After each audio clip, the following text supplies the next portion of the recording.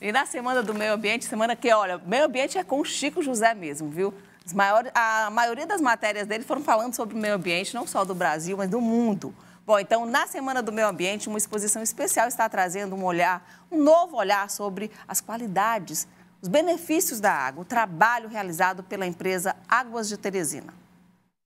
Um espaço que reúne experiências sensoriais e educativas sobre a água, além de ressaltar a necessidade do tratamento de esgoto e o impacto positivo do saneamento básico para o meio ambiente e a saúde da população. Essa é a proposta da exposição Um Novo Olhar sobre a Água aberta no Teresina Shopping nesta segunda-feira, dia 5 de junho, Dia Mundial do Meio Ambiente. Algumas dessas maquetes não têm os, o, as tubulações para sair pelo esgoto. E, as, e a que tem vai direto para o esgoto, porque a que não tem, ela cai direto no chão, então ela entra em qualquer lugar e pode causar muitos problemas por aí. A importância de a gente economizar água, né? No banho, na hora de limpar a calçada e na hora de lavar a louça. As visitações ao local podem ser feitas diariamente, das 10 horas da manhã às 10 da noite, até o próximo dia 20 de junho. A partir dessa exposição, nós poderemos proporcionar aos visitantes uma experiência mais lúdica, didática e interativa.